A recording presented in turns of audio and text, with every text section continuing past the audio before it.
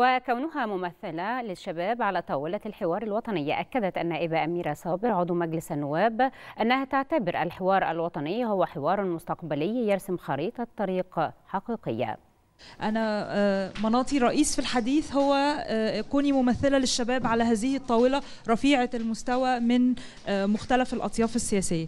والحقيقة أنا بعتبر أن الحوار الوطني بشكل رئيسي حوار مستقبلي. هو حوار سيرسم خارطة طريق حقيقية للي جاي في الحياة السياسية بالمقام الأول وما يتبعها من مساحات اجتماعية واقتصادية فارقة جدا في عمر هذا الوطن. فالأمال حد السماء يعني من اعتقادي وما اتفق عليه يعني إنه هذا التشكيل مرضي للغالبية وهو يحملنا أمانة مضاعفة أمانة شديدة إنه كل عضو هنا يحمل يعني ما ترقبه ملايين المواطنين من الشعب المصري وما تترقبه الحياة السياسية المصرية من نتائج لهذا الحوار المؤسس.